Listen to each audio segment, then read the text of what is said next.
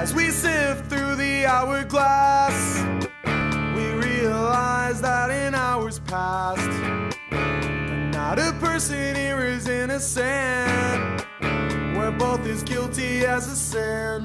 It must have rained all through the night.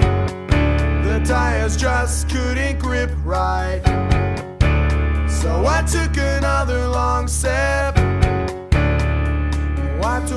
my. This is how.